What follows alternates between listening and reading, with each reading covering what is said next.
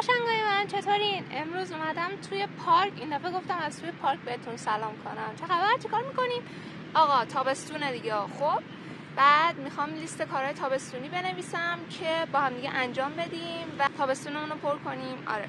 بعد نمی‌خوام شو آف کنم که مثلا بگم آره چل تا کار تابستونی با هم دیگه انجام میدیم فلان بهمان. نه. در حد مثلا 15 تا 20 تا اینا یه لیست خوشگل می‌خوام بنویسم.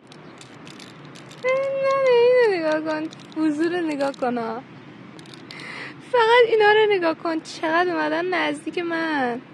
ای خدا قیافه رو.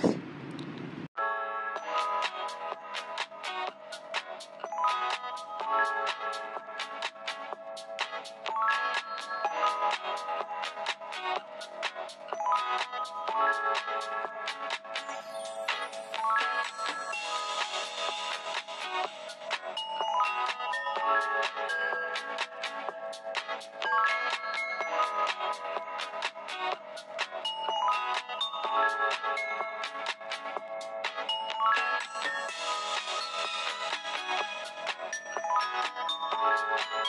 you.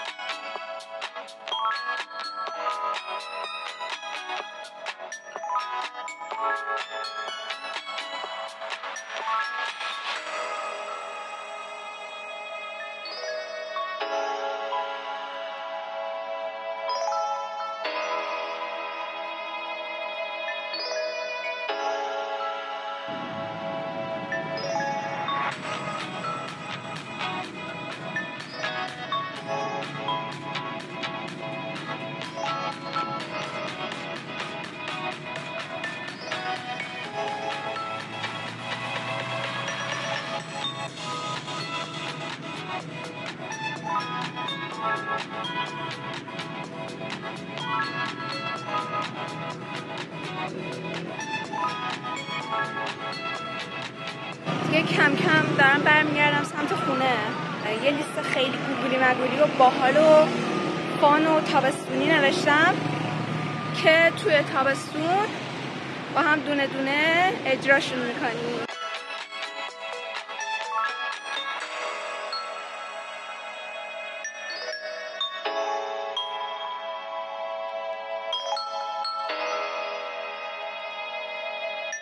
از خونه سلام من بالاخره رسیدم خونه و حلاک شدم تا رسیدم خونه یعنی در این حد انقدر گرمه. و به یه صلح خیلی خفنی با خودم رسیدم که از اینکه تنهایی برم پارک تنهایی برم کافه برای خودم وقت بذارم بشینم کتاب بخونم دیگه مثلا خجالت نمی‌کشم یا دیگه اون حس بد و ندارم.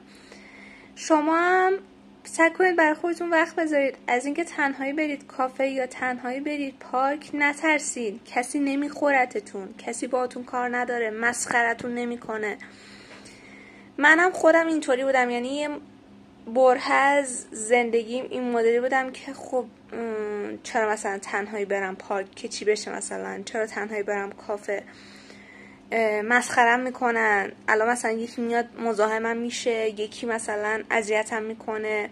ولی چند دفعه که این کار انجام دادم دیدم نه عزیز من از این خبرها نیست. مگه شهر هرت همه دارن این تو زندگی می‌کنن؟ شما مهمترین فرد زندگی خودتونو فراموش کردید اگه این کارا رو نمی‌کنین مهمترین فرد زندگیتون خودتونین. خودتون در اولویت همه چیز و همه کس هستین. اگه خودتون برای خودتون وقت نذارید پس کی می‌خواد بذاره؟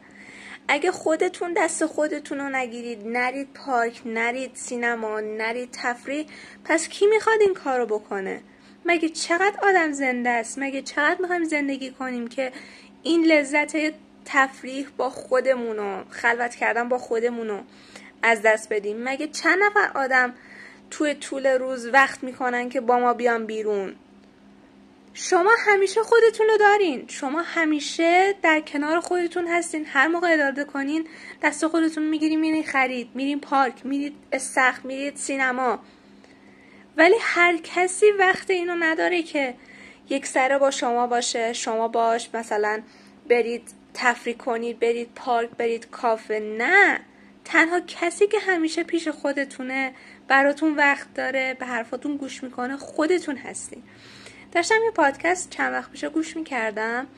می‌گفت که شما اگر برای خودتون وقت نمی‌ذارید اگر با خودتون خلوت نمی کنید اگر نمیرید پارک اگر از این میترسین که تنهایی برید کافه تنهایی برید تفریح کنید شما اون کسی هستید که خودتون رو فراموش کردین. بچه درونتون رو تنها گذاشتید. بهش توجه نمی کنید همش دنبال اینید که یکی دیگه براتون وقت بذاره و این کاملا تباه کردن خودتونه. آقا مثلا چه اشکالی داره؟ شما دست خودتون رو بگیرید با هم برید پارک. دست خودتو بگیر برو کافه. دست خودتو بگیر برو کتاب فروشی کتابی که دوست داری بخر. برو خرید برو تفریح برو استخر. حتی سینما مگه چه اشکالی داره؟ خیلی از آدما مثل منن مثل تو هن و اگر که بخوایم به این رویه ادامه بدیم خودمون رو نابود کردیم. ما همیشه خودمون رو داریم. من همیشه خودم رو دارم. با خودم خلوت کنم خوش بگذرونم.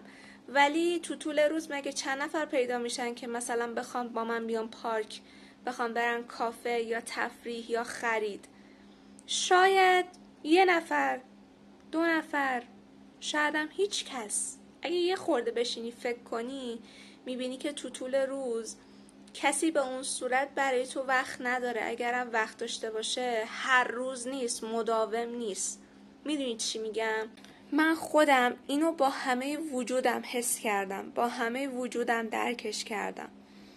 اینکه توی شهر غریب باشی اینکه کسی رو به اون صورت نشناسی تمام این لحظه ها رو درک کردم. با گوشت و پوست و خونم حسش کردم. و تازه به این نتیجه رسیدم که اگه کسی نیستش که با من بیاد خیابون اصلا اشکال نداره. من که خودم رو دارم. من که خودم پیش خودم هستم. پس اون کی بود که می‌گفت من تو اولویتم من خودم از همه بیشتر دوست دارم؟ مطمئنم همتون همتون بارها این حرف رو زدین که من اولویتم برای خودم. من خودم از همه بیشتر دوست دارم. من از همه مهمترم. اگر که برای خودتون مهم هستین اگه تو اولویت هستین پس چرا برای خودتون وقت نمی‌ذارید؟ چرا مثلا نمیرید پارک؟ چه اشکالی داره مثلا؟ یه ذره بشینید فکر کنید به این موضوع. قشنگ درکش می‌کنید که من چی دارم میگم. پادکست گوش می‌دادم. می‌گفت که اگه شما مثلا به خودتون بگید که من فردا حتما شروع می‌کنم به کتاب خوندن. من فردا حتما شروع می‌کنم دوباره ورزش می‌کنم. دوباره فلان کار می‌کنم. فردا میشه و شما میگید که خب الان حال حوصله ندارم. بذار باشه فردا. فردا می‌رسه دوباره میگید که خب الان مثلا من مهمون دارم. بذار باشه برای پس فردا.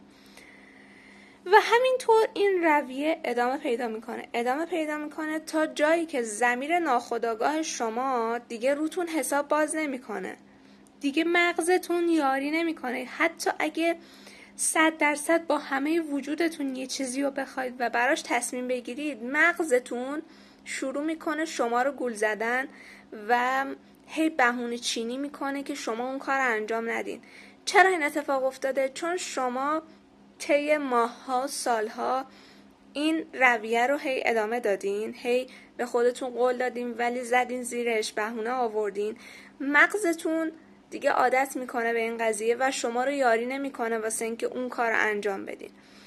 و یه چیز خیلی قشنگ دیگه ای هم که می‌گفت می‌گفت که شما باید برای خودتون به هر قیمتی که شده وقت بذارید. شما یه بچه دارید داخل بدنتون یه کودک درون دارید که اگر به اون کودک رسیدگی نکنین کم کم شما افسرده خواهید شد حس و حالتون رو به زندگی از دست میدیم و اون کودک درونتون باهاتون قهر می‌کنه. پس دست کودک درونتون رو بگیریم با خودتون ببرید پارک ببرید خرید اون چیزایی که دوست دارید و بخرید. ببینید کودک درونتون چی میگه چی دوست داره همونو براش بخرید. اصلا به این توجه نکنید که اگه من الان اینو بپوشم یا اون چیزو بخرم فلان کس شاید مثلا این چیز رو راجع من براتون هیچی مهم نباشه هیچی مهمتر از شما توی زندگیتون نیست.